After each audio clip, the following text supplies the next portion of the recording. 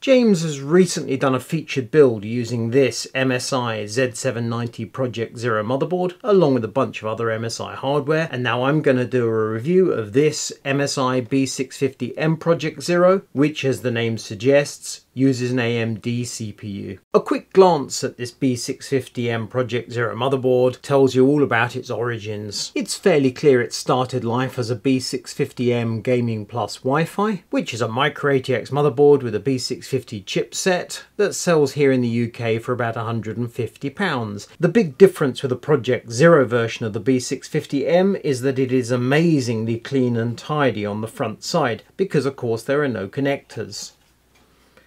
They all live on the back. We have heat sinks over the monolithic power VRMs, which are a 10 plus 2 plus 1 DrMOS setup. We have this rather smart heatsink over the M.2 storage, four DDR5 slots, and that is pretty much it. Turning to the back, we have the main power connector, the two EPS connectors, and then we have an array of headers and connectors around the periphery of the board. It should also be obvious with this Micro ATX motherboard, the cutouts for the headers and connectors at the foot of the board are at this point. If it was an ATX board, they'd be about here. It therefore matters whether your case supports Project Zero and supports either or Micro ATX or ATX or both. Thankfully MSI has a compatibility list. You need to double check this list to make sure you don't run into problems. Returning to the B650M Project Zero, Let's look at those features. On the front side of the board we have the main graphics slot powered by the processor which is a PCI Express Gen 4 x 16. We also have a Gen 3 by 1 slot which is powered by the chipset. For storage, we have two M.2 Gen 4x4s and there are four SATA 6 gigabit per second. The maximum supported memory speed is 7600 MHz, but the specification suggests that 6400 MHz is as fast as you really want to go. The VRMs are 80 amp monolithic power DrMOS and it's a six layer PCB. On the back of the board where most of the connections happen, at the top we have three PWM fan connections and one ARGB header. At the bottom we have another two PWM fan headers and a second ARGB header. We also have four USB 2.0s and at the side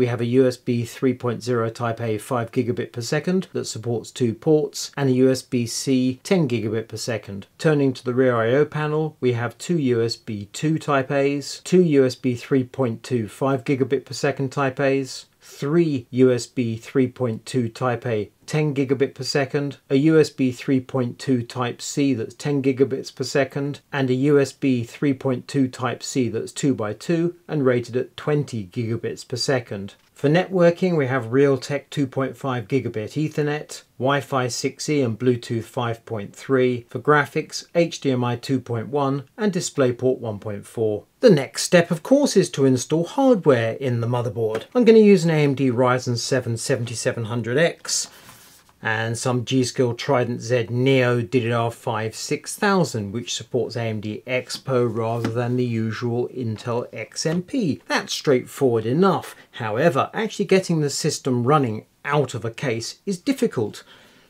Of course the power supply cables have to go underneath and look at all the headers and connectors. If I take this processor box and I balance the motherboard like that, Clearly the headers and connectors are protected, but actually hooking up cables is nigh on impossible. And when I put in a chunky graphics card, the board's going to be a bit wobbly.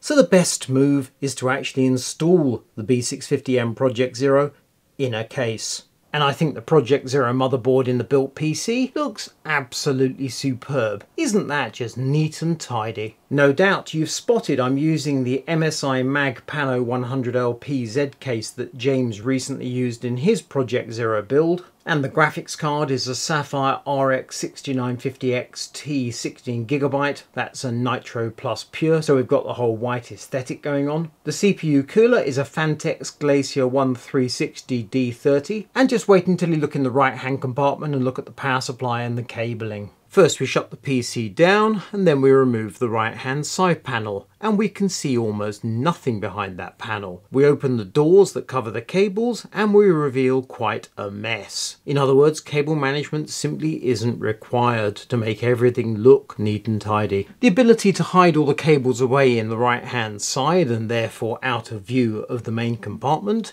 is a feature of Project Zero, but ironically it means you cannot currently see the Project Zero connections. So let's take the power supply out.